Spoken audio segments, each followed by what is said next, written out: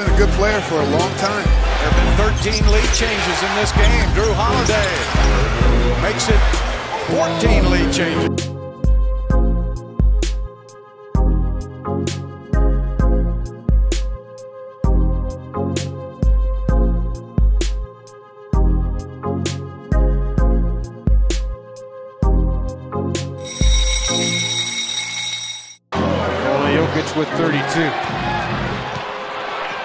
Cavs by four.